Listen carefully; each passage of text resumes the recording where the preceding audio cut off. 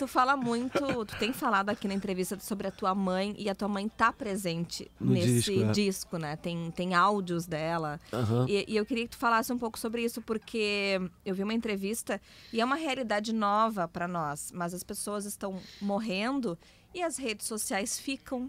A gente consegue recuperar conversas no WhatsApp. Uma loucura, né? Antes isso você, é uma ia, antes você ia na caixinha de sapato com as fotos, Com né? as fotos. Era isso que você tinha do Um seu... integrante desse programa morreu recentemente, o Hum. Davi Coimbra. E ele tava no nosso grupo de WhatsApp. Uau, E aí ele ficou. qual meus sentimentos, galera. Ficou ali no grupo de WhatsApp e nós não sabíamos o que fazer. Um dia de manhã, eu falei, não sem avisar ninguém do grupo, falei, pimba, tirei o Davi. É. Do grupo.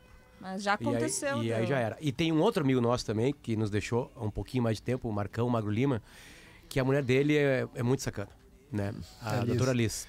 E aí eu combinei com ela de um dia, num grupo lá de, de um podcast, eu perguntar uma coisa e ela entrar como Marcão, porque ela tá com o celular Pelo do Marcão. WhatsApp dele. Pelo WhatsApp. E ela Que entrou isso. e botou aí, aí o É, resto, o que que tá acontecendo? e eu disse, meu Deus!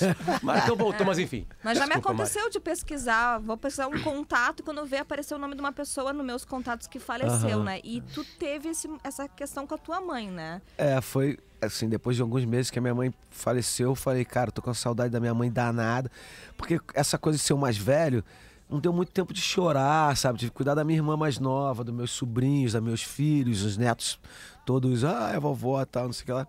Depois de uns meses, cara, eu, eu, eu falei, cara, tô com saudade da minha mãe demais. Eu tava com muito medo de abrir o WhatsApp agora falar, cara, o que, que vai dar? Ouvi os áudios Eu dela. tinha, eu tinha ido no apartamento, porque eu tinha que esvaziar o apartamento dela, aquelas coisas, pegar roupa, já tinha sido meio traumático e tal.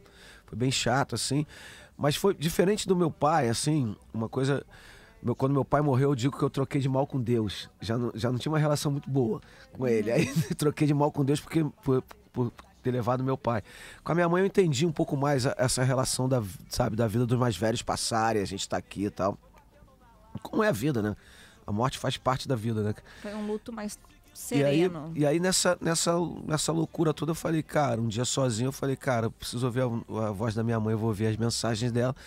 E aí comecei a ouvir mensagem, comecei a pirar nas mensagens. Tinha várias mensagens.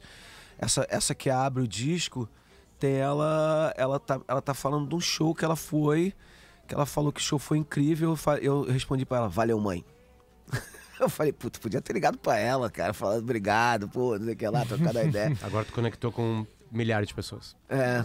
E Porque aí, é, é bem assim, né? e aí, cara, outro E dia. a eu mãe vi- sempre ali, sempre puxando, sempre sempre, chamando. Outro dia eu vi um cara falando isso, fala, cara, pô, teu pai tem quantos anos? Ah, meu pai tem 70. Pô, tu vê teu pai quantas vezes por ano? Essa conta é Três matemática. vezes. É, pô, tu vai ver teu pai então umas seis, dez vezes no máximo. Eu falo, caraca, cara, é. né? Caraca, eu preciso ligar pro meu pai agora. Aí, pô, essa, é, é, assim, é, e aí, cara, eu comecei a ouvir os áudios, aí comecei a pirar, mas ao contrário do que eu achava que ia ficar mal, eu fiquei bem, sabe? Eu falei, eu comecei a entender muito aquilo. No final do disco tem ela me ensinando a fazer feijão, essa coisa da comida do, do disco tem pra caramba, assim. A- a- que o, o Simas fala muito que o disco é sobre o tempo. Ele fala que, ele- depois que eu ouvi o disco, ele falou, cara, teu disco é sobre o tempo.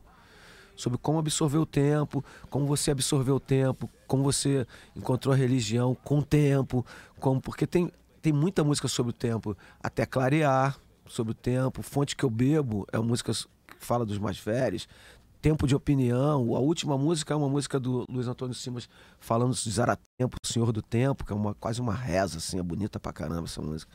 É incrível, eu vi ele, eu vi ele cantando no Twitter. Eu liguei pra ele na hora, falei, meu irmão, que música é essa que tu cantou aí? Ele falou, alguém já gravou? Não. Eu falei, pelo amor de Deus, desliga o telefone, não atende mais ninguém, que eu tô indo aí buscar a música agora.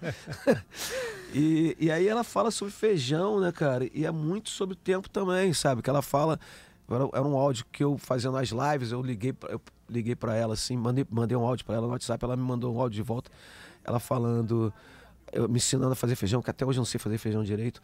E a- ela falando, ah, deixa tanto tempo, depois você abre a panela, se o, se o feijão não estiver pronto, você deixa ele curar mais um pouquinho tal, não sei o que lá. É super sobre tempo, né? Tem uma... E foi, cara, pra mim, esse, esse, esse disco, ele tem esse, esse, essa coisa meio... Acho que quase todo disco tem isso, mas esse eu reparei muito, porque tô, tô nessa, nessa vibe, né, cara, de, de olhar as coisas com sentidos maiores do que é, só o da palavra tal. E aí eu percebi que ele tem três atos, o disco, assim. ele fala no primeiro ato, ele é a minha essa minha experiência do novo samba tradicional que eu tô chamando, porque é novo, mas é tradicional, sabe?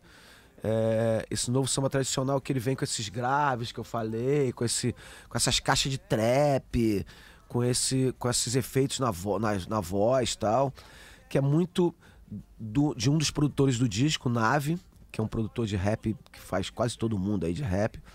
É, o segundo ato do disco tem a ver com outro produtor, que é o Kiko Dinucci, do Metá Metá, então tem uma coisa um pouco mais é, é, profunda, assim, música com o seu Matheus Aleluia do Ticoães, música minha com Metá Metá, uma coisa, vai lá pra Bahia, tem uma coisa meio, meio, aquele violão do Kiko Dinucci que é super é, brasileiro, assim, único, né? O Kiko tem uma trajetória meio parecida com a minha, que era um cara punk que foi fazer música brasileira, então traz um pouco dessa agressividade do punk. É, e o último ato que fica um pouco mais popular, que aí vem Zeca Pagodinho, Alcione, Mumuzinho. O Zeca Pagodinho, inclusive, compôs músicas pra tu gravar, né? É, cara, eu, eu ele, ele, assim, o Zeca é um cara que ele tem, o humor dele é, é, é de lua, né, cara? Tu liga pra ele e fala, e aí, Zeca, tudo bem? Ele, não. então, beleza, te ligo depois. e aí, tu liga pra ele, tudo bem? Ele, tudo porra, cara, tô morrendo de saudade, não sei o que lá. E esse, esse momento, cara, a gente tá muito ligado, assim, desde, a- desde o que aconteceu com o Arlindo lá, e aí logo, sei lá, aí aí logo, logo depois veio a pandemia e tal, e a gente ficou isolado, que eu e o Zeca, a gente, a gente não, não tava se falando muito, assim, a gente tinha uma ligação muito grande, eu, ele e o Arlindo, a gente se encontrava muito, nós três juntos. E, e com a coisa do Arlindo, a gente ficou se vendo menos tal, e depois a pandemia. E nesse disco, ele foi um dos últimos que eu liguei, assim, pra, pra falar sobre o disco e tal. E aí, quando eu liguei pra ele, cara, ele ficou muito empolgado, cara. Ele falou, pô, cara, o samba precisa disso, de uma renovada. É, depois ele ouviu meu disco e falou assim, teu disco é de música brasileira, cara, não é só samba. E aí, cara, ele, ele falou, ele me ligava, eu tenho, umas, eu tenho umas gravações, ele me ligando no carro, no Viva a Voz do carro, eu e meu filho, e o, o Stefan, e aí ele, ele falando, cara, eu tô com samba aqui, o samba é assim, aí ele cantava o samba, cara. Parada mais legal, cara. Foi uma Zeca parada mais legal. Ele cantando samba no telefone, tá ligado? É, Xande, liga pro Xande. Esse samba é meio do Xande, eu não lembro o resto da letra, não liga pro Xande. Aí desligava. Aí eu tava no carro dirigindo, né? Aí, dois minutos depois, cara, sério, dois minutos. Ligou no Xande, eu falei, Zeca, eu tô dirigindo. Ele, porra, não, porque eu acho que lembrei de um outro aqui, cara. Aí eu tenho outro samba aqui, ó, pá, não sei o que lá. Ele me deu uns três ou quatro, quatro sambas, eu gravei um, eu vou gravar um outro agora, porque um outro era mais tristão, assim, eu queria um disco mais otimista. Esse disco eu queria um disco otimista e tal. Eu falei, esse outro é um disco sobre a mulher que partiu e tal. É, eu vou, vou gravar.